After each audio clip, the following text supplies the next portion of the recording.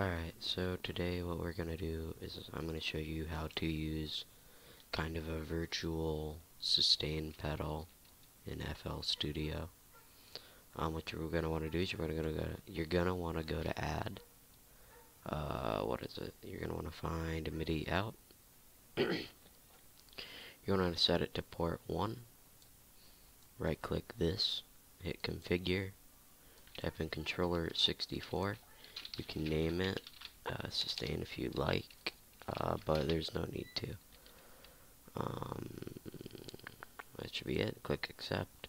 Now don't touch it yet because we still have to go into Kontakt or whatever plugin uh, you're using. You go over here. Actually, I think Kontakt might be the only way you can uh, do it, uh, but I'm not 100% sure. So to take my word on that. Um, so we'll go to, it's either input port or output port. I think it's output, but we'll do both. Because either way, it won't change anything super important. So we'll set both to 1. And then we'll go back in here. We'll turn this all the way up. Um, now keep in mind, it's an on and off thing. It's not like it's there's not a certain value.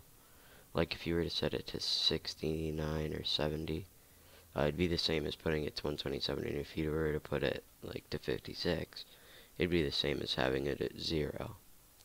So we're just going to turn it all the way up. Uh, and now, if we press the key, uh,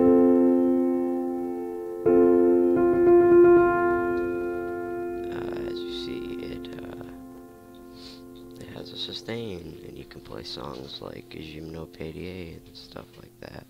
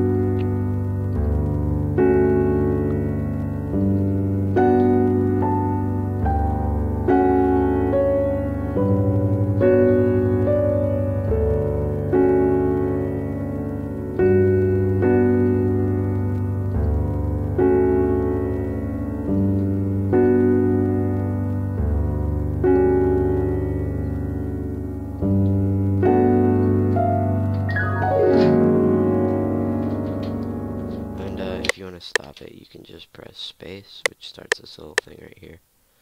Um, so yeah, that's how you use a sustain pedal in Kontakt.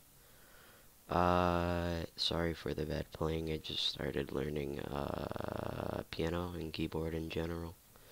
And I'm getting a legitimate piano soon, so maybe I'll put out piano tutorials, I don't know, when I improve, but yeah, so have a uh, have a good day and see you guys later.